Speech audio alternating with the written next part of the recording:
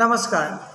আজি গণেশ চতুৰ্থীৰ দিনাখন নৰেন্দ্ৰ মোদী চৰকাৰে পুনৰ আমাক এটা নতুন জামলা জুমলাবাজি কৰিলে যে যোৱাকালিৰ পৰা তেওঁলোকে এটা এনেকুৱা এটা লেয়াৰ দিছিলে যে মহিলা থাৰ্টি থ্ৰী পাৰ্চেণ্ট ৰিজাৰ্ভেশ্যন বিলখন তেওঁলোকৰ দিনতহে তেওঁলোকে এইখনক মানে মোহৰ লগাব। আমি উৎসাহিত আছিলোঁ কাৰণ ৰাজীৱ গান্ধী ডাঙৰীয়া প্ৰয়াত প্ৰধানমন্ত্ৰী ৰাজীৱ গান্ধী ডাঙৰীয়াৰ দিনৰ পৰা P V Narasimha Rao U P এৰ অধ্যক্ষা তেতিয়া ছোনিয়া গান্ধী ডাঙৰীয়া দিয়ে শেহতীয়াকৈ মনমোহন সিং ডাঙৰীয়াৰ দিনৰ পৰা এই বিলখন অহাৰ ক্ষেত্ৰত যথেষ্ট গুৰুত্ব দি অহা হৈছিলে।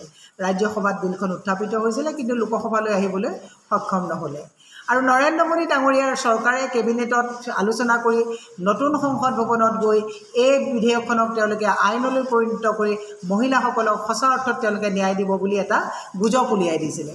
কিন্তু আমি ভাবিছিলোঁ যে সঁচা অৰ্থত তেওঁলোকে এটা মহিলাসকলৰ ক্ষেত্ৰত মহিলা সবলীকৰণৰ ক্ষেত্ৰত থাৰ্টি থ্ৰী পাৰ্চেণ্ট ৰিজাৰ্ভেশ্যন বিলখন তেওঁলোকে আইনলৈ পৰিণত কৰিব। কিন্তু আমি এতিয়া গম পালোঁ এই চৰকাৰখন সম্পূৰ্ণ জুমলাবাজী চৰকাৰ।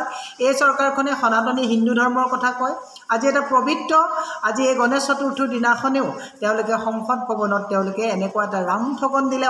ভাৰতবৰ্ষৰ মহিলাসকলক ই অত্যন্ত দুৰ্ভাগ্যজনক কথা। আমি আদৰণি জনোৱাৰ পৰিৱৰ্তে এইমাত্ৰ আমি দুখ প্ৰকাশ কৰিছোঁ যে এই জুমলাবাজী চৰকাৰখনে সঁচাকৈ বেটী বচাওঁ বেটী পঢ়াওঁ নাৰী সবলীকৰণৰ ক্ষেত্ৰত এওঁলোকে হেতালিহে খেলিছে কোনো নাৰী সবলীকৰণৰ ক্ষেত্ৰত এওঁলোকৰ আন্তৰিকতা আৰু আস্থা নাই।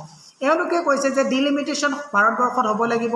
পুনৰ ডিলিমিটেশ্যন যেতিয়া হ'ব তেতিয়াহে তেওঁলোকে এই গোটেই বস্তুখিনি বিচাৰ কৰি তেওঁলোকে থাৰ্টি থ্ৰী পাৰ্চেণ্ট ৰিজাৰ্ভেশ্যনৰ কথা আলোচনালৈ নিব।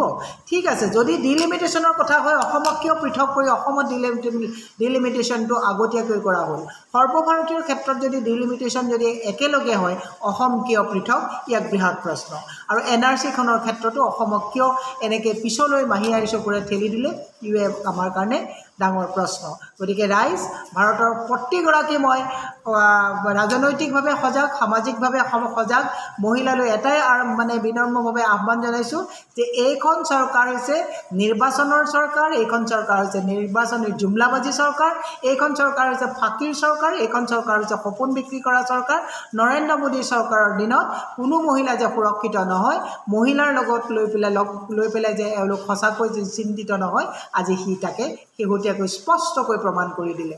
সেইকাৰণে আমি সকলোৱে এটা কথা ক'ব বিচাৰিছোঁ বেটী বচাওঁ বেটী পঢ়াওঁ নাৰী সবলীকৰণক লৈ পেলাই এই নাটকবাজি কৰা জুমলাবাজী চৰকাৰখনক আমি আজি গৰিহণা দিছোঁ। ধন্যবাদ।